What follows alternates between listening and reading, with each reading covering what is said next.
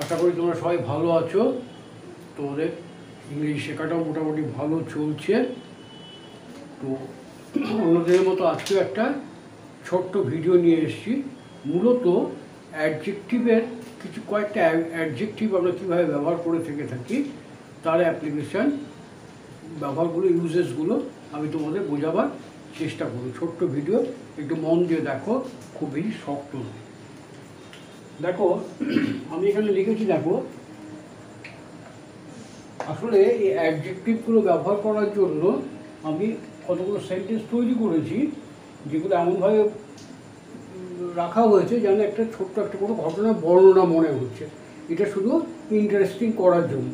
যেমন দেখো, আমরা একটা বড় শহরে থাকি, যে বাড়িতে থাকি সেটা একটা ভাড়া বাড়ি।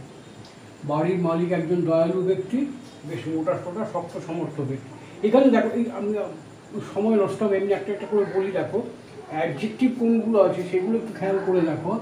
যেমন বড়, এটা অ্যাডজেক্টিভ সেটা একটা ভাড়া বাড়ি অ্যাডজেক্টিভ একজন দয়ালু ব্যক্তি অ্যাডজেক্টিভ মোটা সোটা শক্ত সমর্থ বা মোটা সোটা, এটা অ্যাডজেক্টিভ তার একমাত্র ছেলে খুব বুদ্ধিমান অ্যাডজেক্টিভ একজন বিখ্যাত অ্যাডজেক্টিভ হুম, ছেলেটি একটি সুন্দরী মেয়েকে বিয়ে করেছে অ্যাডজেক্টিভ মেয়েটির বাবা ওর প্রতি অত্যন্ত স্নেহশীল অ্যাডজেক্টিভ দুশ্রী ওদের পোষা কুকুর, নেকড়ের মতো হিংস্র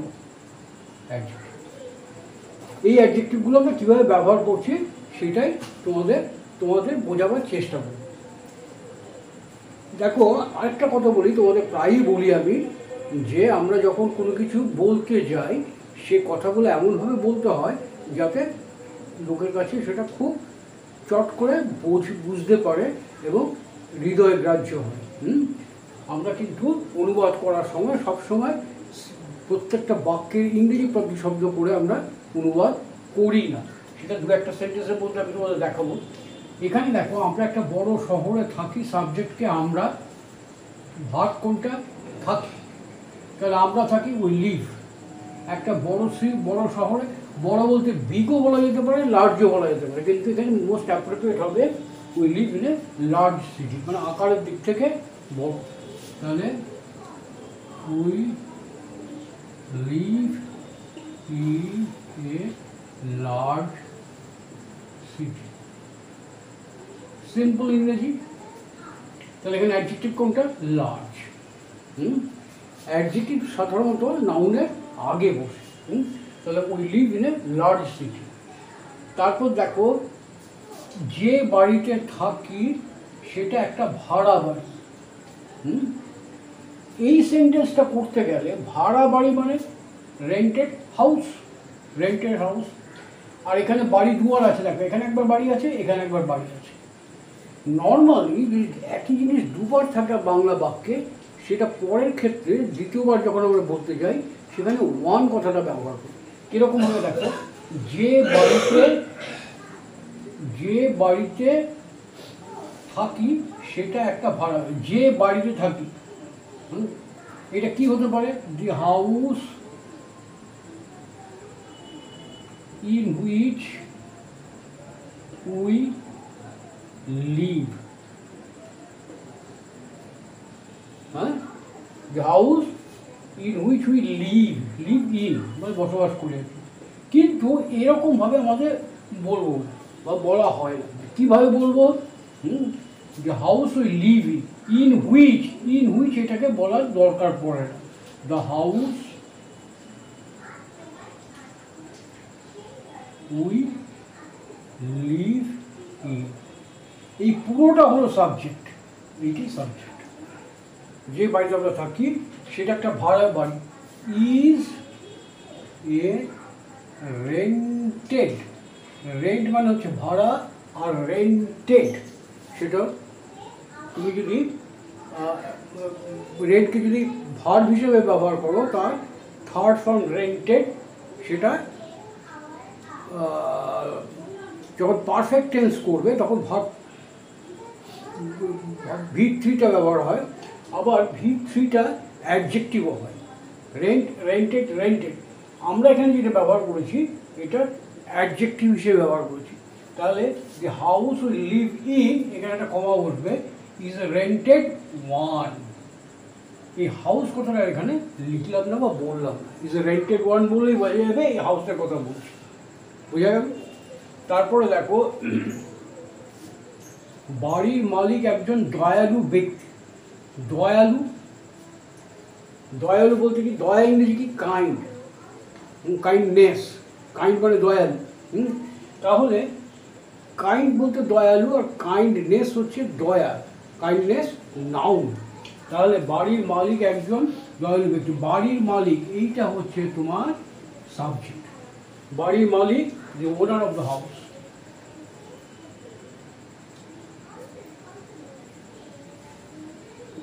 of the house তারপর সাবজেক্ট হ্যাঁ আমরা কোনো অবস্থা বা বলতে গেলে কি করি প্রেজেন্ট ইন্ডিপেন্ডেন্ট টাইম টেন্স সেখানে কি ভাগ কোনটা ব্যবহার হবে? এখানে তো অন্য কোনো ভাগ নেই। এখানে কোন ভাগটা ব্যবহার ব্যবহার করা হয়? বি ভাগ তাহলে the owner of the house is a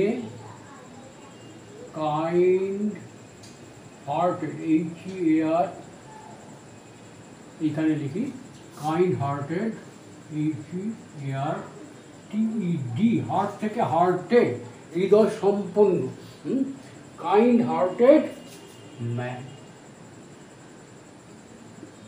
তাহলে the owner of the house is a kind hearted man অথবা আমরা বলতে পারি person kind hearted person per person এটাকে এভাবেও বলা যেতে পারে কিন্তু আমরা বলব না বা বলা হয় না। The owner of the house is a man of kindness কি বলতে পারি? কাইন্ড হার্টেড না বলে H E R T D H yeah T D is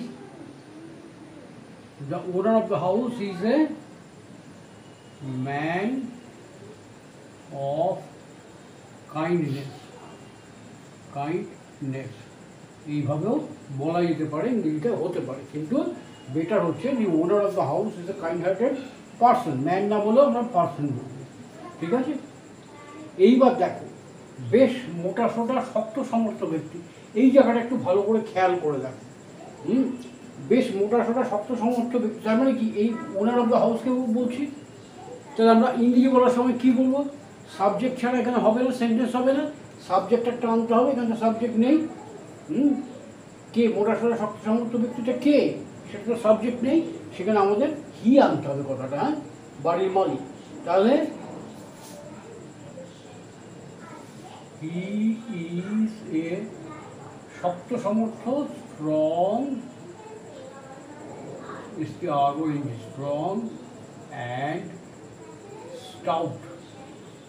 S T O S T O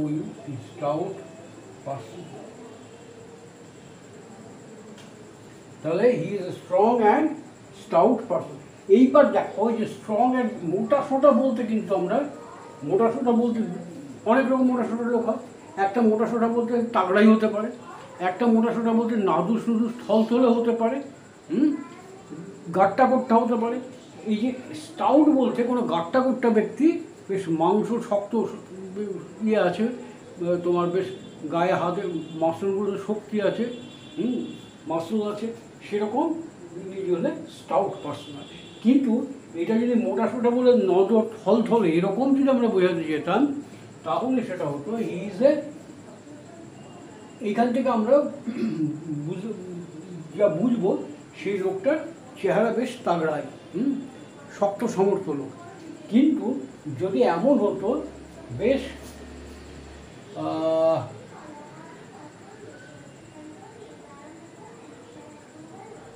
বেশ নাদুস নুদুস যদি বলতাম নাদুস ব্যক্তি। বেশ নাদুস ব্যক্তি, তাহলে কি হতো? নাদুস বললে পরে আমরা যেটা বলতাম, সেটা বলতাম চাব chubby CH U BB Y নাদুস নুদুস বলতে আমরা কি বলতাম? He is a chubby person. C H U B B Y chubby person বুঝতে পেরেছ? এইবার ধরো, যদি বলতাম, থলথলে থলথলে লোক, তাহলে কি নাদুসনায় বলতে যে বেশ নাদুস থলথলে ব্যক্তি, সেখানে যেটা হতো সেটা হতো ফ্ল্যাগি থলথলে হলে পরে আমরা কি বলব? ফ্ল্যাগি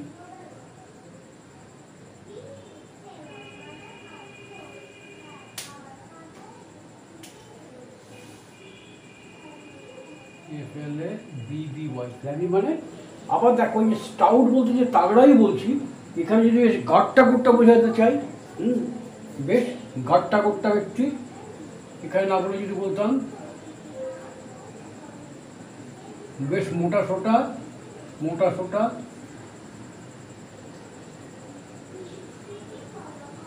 ঘাটটা গুট্টা এরকম যদি বলতাম। বেশ, মোটা সোটা গাট্টা গোট্টা ব্যক্তি। তাহলে বলতাম, he is fat chunky C H U L K Y chunky মানে হচ্ছে গাট্টা। গোট্টা ইজ এ ফ্যাট ফ্যাট মানে বেশ মোটা গাট্টা। গোট্টা is a fat chunky person এইভাবে ইংরেজিতে আমরা বলতাম। বোঝা গেল? তারপরে দেখো, তার একমাত্র ছেলে খুব বুদ্ধিমান। একমাত্র ছেলে অনলি যেখানে আমরা একমাত্র কথাটা পাবো, বিভিন্ন বাক্যে একমাত্র দ্য অনলি একমাত্র বই দ্য অনলি বুক একমাত্র ছেলে দ্য অনলি সন একমাত্র মেয়ে দ্য অনলি ডটার একমাত্র কাজ দ্য অনলি জব একমাত্র দায়িত্ব দ্য অনলি রেসপন্সিবিলিটি তাহলে তার একমাত্র ছেলে এই পুরোটাই হচ্ছে সাবজেক্ট ইজ only son খুব বুদ্ধিমান খুব ভেরি ভেরিটা হচ্ছে অ্যাডভার্ব হুম? কেন? বুদ্ধিমান, কীরকম বুদ্ধিমান? ইন্টেলিজেন্টকে মডিফাই করছে ভেরি তাহলে এটা হচ্ছে ভেরিটা হচ্ছে অ্যাডভার্ব তো the only son is very intelligent intelligent এবং একজন বিখ্যাত ব্যক্তি and a famous M U S famous এটা হচ্ছে adjective and a famous poet তাহলে his only son is very intelligent and a famous poet ই স্টার বলার দরকার হয় হুম অথবা বলতে পারো তুমি his only son is very intelligent and is a famous poet is এখানে আনার দরকার নেই ইজ এখানেই আছে ঠিক আছে ছেলেটি একটি সুন্দরী মেয়েকে বিয়ে করেছে। সুন্দরী মেয়ে বিউটিফুল গার্ল সুন্দরী ইংরেজি B A U T I F U L beautiful girl hmm? Beautiful girl সুন্দরী মেয়েকে বিয়ে করছে বলতে বলতে আমরা কত রকম বোঝাতে পারি। কি বলছে তো সেখানে ঠিক পরিষ্কার নয়। হুম? সুন্দরী মেয়ে বলতে যদি আমরা কোনো মহিলাকে রমণীকে বোঝাতে চাই, তাহলে বিউটিফুল ওমেন বলব। কোনো অবিবাহিত কুমারীকে বিয়ে করছে। বিয়ে তো সাধারণত অবিবাহিত কুমারীর সঙ্গে বিয়ে হয় স্টিল নেই তোমার যদি অব, অবিবাহিত কুমারীকে বিয়ে করেছে, সেখানে আমরা বলব ড্যান্সাল ড্যান্সাল এটা বলব, ঠিক আছে? তাহলে এবার আরেকটা জিনিস খেয়াল রাখতে হবে এখানে, দেখো ম্যারি বিয়ে করা, হুম? ম্যারিটা ভার্ব হিসাবে ব্যবহার করতে পারি, আর যদি ম্যারিড বলি তাহলে সেটা হচ্ছে, দেখো marry married married marry married married এখানে ম্যারিডটা ভার্বের সেকেন্ড ফর্ম পাস্ট ফর্ম হতে পারে, আবার পাস্ট পার্টিসিপল ম্যারিডও হতে পারে। আবার ম্যারিড ম্যারিড বলতে গেলে কিন্তু অ্যাডজেক্টিভ মানে থার্ড ফর্ম যেটা, বিবাহিত অ্যাডজেক্টিভ হিসেবে ব্যবহৃত হতে পারে। এখন এটা আমরা কী হিসেবে ব্যবহার করব, তার সেই অনুযায়ী প্রিপোজিশন আছে। কীরকম? দেখো ছেলেটি একটি সুন্দরী মেয়েকে ব্যবহৃত করে, যেটাকে যদি আমি বলি the boy married M A double R I is married a beautiful girl beautiful girl ভালো করে খেয়াল করো এটা। The boy married a beautiful girl ঠিক আছে? এখানে কিন্তু কোনো প্রিপোজিশন নেই। কিন্তু যদি এরকমভাবে বলি, ছেলেটি বিবাহিত হয়েছিল একটি সুন্দরী মেয়ের সঙ্গে। সেখানে হবে the boy got married passive the boy got married M A double R I E D married এখানে এরকম ভাবে লিখতে গেলে অধিকাংশ ক্ষেত্রেই যে ভুলটা করে ফেলা হয় বা করে ফেলে লোকে সাধারণত, সেখানে বলে ফেলে ম্যারিড উইথ এইটা wrong married to a beautiful girl দেখো বিউটিফুল গার্ল ভুল লিখলাম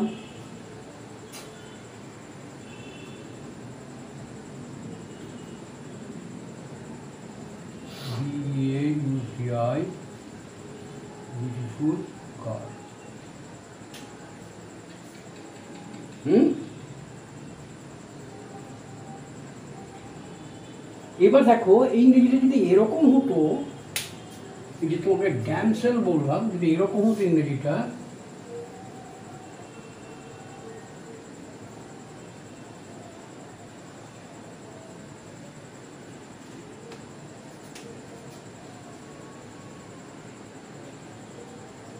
এরকম যে প্রায় হয়ে থাকে দেখো ছেলেটি তার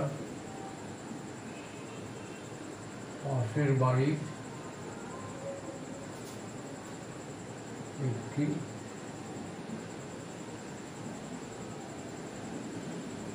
সুন্দরী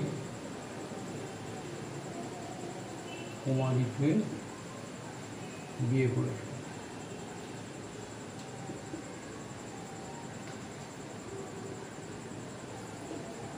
ছেলেটি তার পাশের বাড়ি একটি সুন্দরী কুমারীকে বিয়ে করেছিল হুম? তাহলে কীভাবে করব আমরা ইংরেজিটা সেক্ষেত্রে কি হবে? তাহলে the boy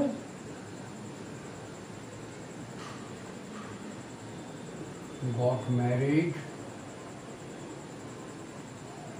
to a beautiful Dasmel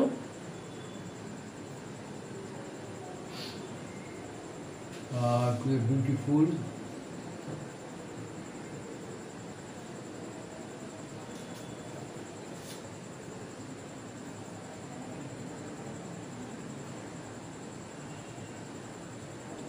damsel of his neighbor.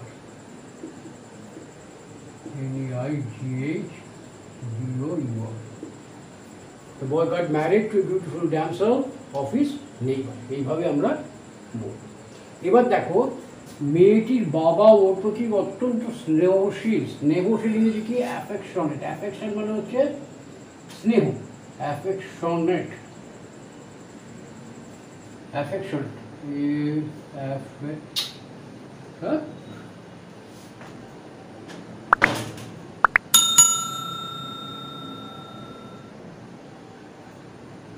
এটা স্নেহশীল অ্যাডজেক্টিভ অ্যাফেকশন আর স্নেহ ইংরেজিকে যদি শুধু স্নেহ বলি শুধু স্নেহ ইংরেজি হচ্ছে অ্যাফেকশন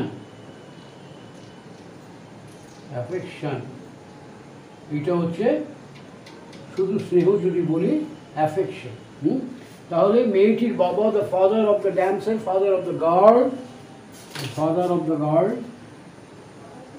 the father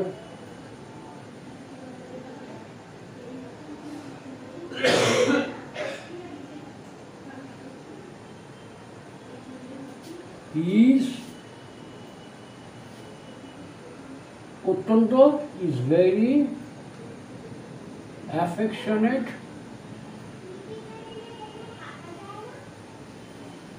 কার প্রতি? অ্যাফেকশনের পরে প্রিপোজিশনে বসে to the father of the girl is very affectionate to his daughter G H Have English. The father of the girl is very affectionate to his daughter. হুম? এখানে দেখো, আমরা বলেছিলাম মেয়েটির বাবা ওর প্রতি ওর প্রতি মানে এই বাবার মেয়ের প্রতি, সেই জন্য এখানে হয়েছে অ্যাফেকশনেট টু হিজ ডটার এইবার ব্রুসলি ওদের পোষা কুকুর একটা কুকুর আছে ওদের, কুকুরটার নাম ব্রুসলি হুম আমি ওপরে লিখছি কারণ এটা হয়তো কেটে যেতে পারে।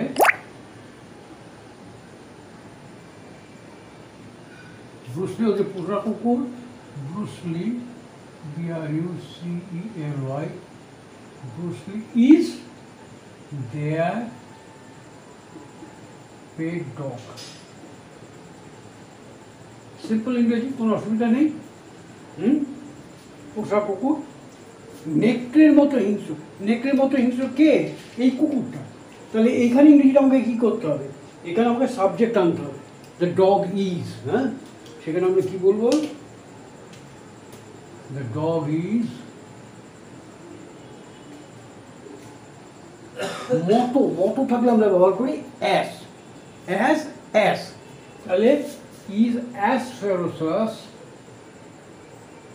C I O U S এটা হলো adjective is as ferocious as a wood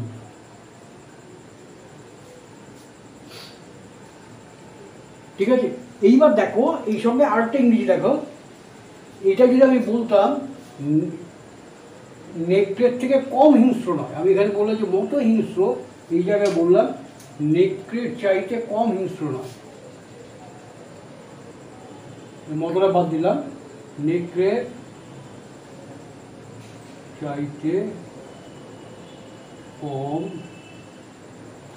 হিংস্র নয় নেকড়ের চাইতে মানে কুকুরটা নেকড়ের চাইতে কম হিংস্র নয়। সেক্ষেত্রে আমাদের ইংরেজিতে কী হতো? The dog is the dog is আমরা বলতাম no less ferocious less ferocious F P R O সেখানে আসতো নো লেস দ্যান নো লেসের পরে দ্যান বসে। তাহলে দি ডগ ইজ no less ferocious than a. Wolf বোঝা গেল? তাহলে মোটামুটি ছোট্ট কয়েকটা সেন্টেন্স তোমাদের বোঝাবার চেষ্টা করলাম। সিম্পল সেন্টেন্স কনস্ট্রাকশন একেবারেই শক্ত নয় বুঝতে অসুবিধা হওয়ার কথা নয়। শুধু অ্যাপ্লিকেশানগুলো একটু দেখে নাও, মনে রাখার চেষ্টা করো প্র্যাকটিস করো ইজি হয়ে যাবে। ওকে ভিডিওটা যদি ভালো লাগে, তাহলে সাবস্ক্রাইব করো নোটিফিকেশান বেল অন করে রেখো যেন পরের ভিডিওগুলো সময় মতো পেয়ে যাব thank you good night bye